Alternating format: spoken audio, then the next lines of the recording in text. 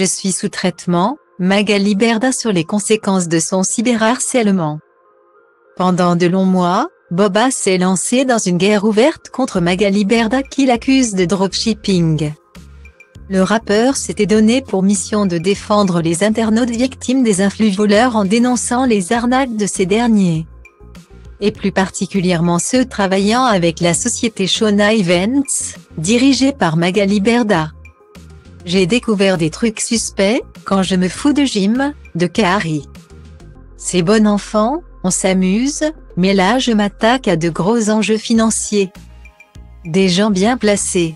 Et c'est parti en C, avait-il notamment déclaré aux Parisiens. Des attaques qui ont provoqué une vague de harcèlement à l'encontre de la femme d'affaires de 41 ans. Qui a fini par porter plainte au printemps dernier contre le rappeur pour cyberharcèlement. Liberda a obtenu une première victoire le 20 octobre dernier avec l'interpellation de 13 personnes soupçonnées d'avoir envoyé des messages haineux sur les réseaux sociaux. 12 d'entre eux seront jugés en 2023 par le tribunal correctionnel de Paris. Invité par Jordan Deluxe dans son émission chez Jordan, Magali Berda s'est confiée sur les conséquences de son cyberharcèlement sur sa santé mentale. Je suis aidée par un psychologue. Je l'ai au téléphone à peu près deux fois par semaine et fut un temps. Je l'avais à peu près tous les jours. Tous les soirs, je devais faire une séance avant de dormir pour pouvoir dormir. A-t-elle expliqué. Personne ne peut sortir indemne d'un cyberharcèlement en meute comme je l'ai subi, pour aller mieux.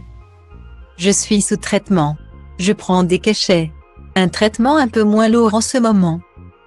Ajouter la patronne de Shona Events, avant de revenir sur le rachat de sa société à Banijay, j'étais trop fier de pouvoir la racheter. Ça va être un nouveau départ pour moi, ça va être un nouveau challenge et c'est d'ailleurs ce que j'ai dit à Banijay quand je leur ai demandé le rachat. Ils n'étaient pas obligés d'accepter puisque j'étais salarié.